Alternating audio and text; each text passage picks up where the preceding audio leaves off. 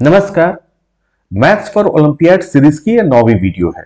और इस वीडियो में जो हमने प्रश्न लिया है वो है if a raise to the power x equal to b raise to the power y equal to c raise to the power z and b square equal to a c then the value of y will be और यहाँ पर चार option दिया गया है। मैं इस option को नहीं पढ़ रहा हूँ। आ, अगर हिंदी में इस प्रश्न को हम आ, कहें तो यदि a raise to the power x या सॉरी ए का घात एक्स बराबर बी का घात वाई बराबर सी का घात जेड तथा बी स्क्वायर बराबर ए सी तो वाई का मान होगा। तो यहाँ पर हमें वाई का मान दिया हुआ है निकालना है। आ, दो यहाँ पर इक्वेशन दिया हुआ है और वाई का मान निकालना है। तो आइए इसे सॉल्व करते हैं। तो जब भी इस तरह का प्रश्न हम लोग सॉल्व करते हैं तो जो गिवन होता है, वहीं से शुरू करते हैं। तो ये जो गिवन है हमारा, यहीं से शुरू करते हैं। A raise to the power x equal to b raise to the power y equal to c raise to the power z ये गिवन है। तो हम ये एज्यूम कर लेते हैं कि ये स्क्वल टू के एक कांस्टेंट तो इससे हमें क्या मिलेगा? A raise to the power x equal to k और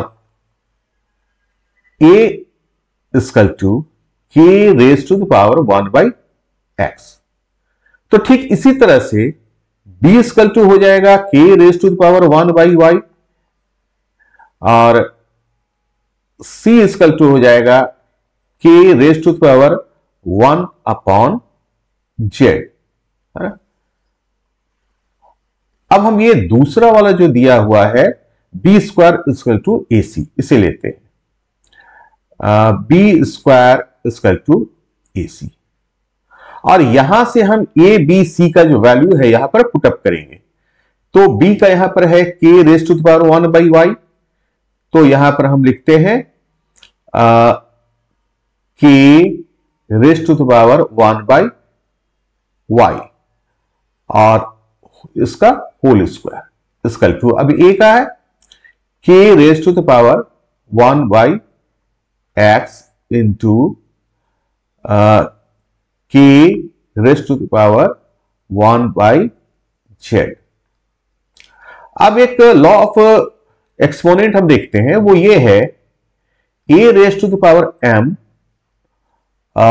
और होल एक्सपोनेंट इसका आ जाता है एन तो अब हम इसको, इसका ये ऐसा होता है, लॉ के अनुसार ये मल्टीप्लाई हो जाता है एम एन तो यहाँ पर हम देख रहे हैं, यहाँ क्या हो जाएगा?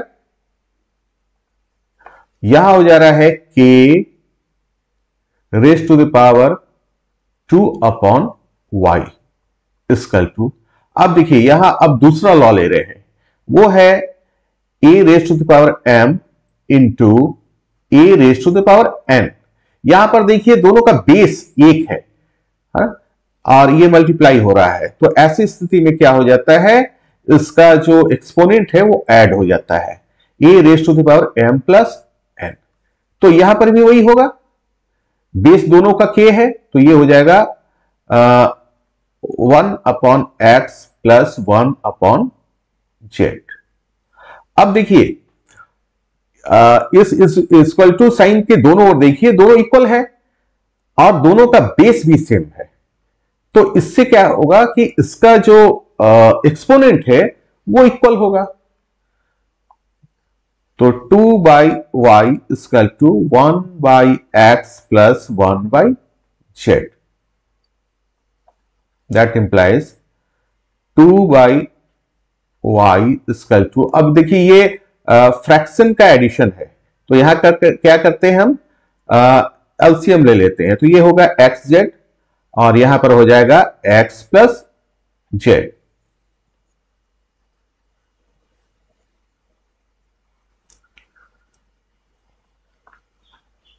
अब यहाँ पर देखिए ये टू का मल्टीप्लीकेशन इससे होगा और वाई का इससे हो जाएगा।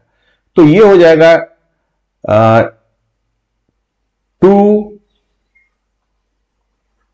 x z is equal to y into x plus z.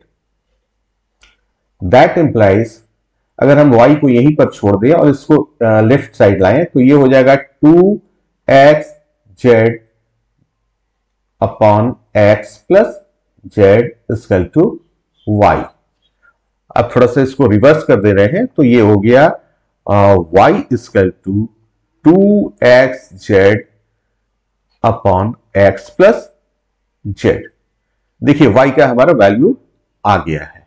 और जो हमारा ऑप्शन दिया हुआ है, उसमें कौन सा है ये? Option number D